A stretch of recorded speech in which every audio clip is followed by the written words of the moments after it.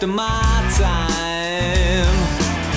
When I get that feeling I'm losing control, I'm gonna lose my mind, my body, my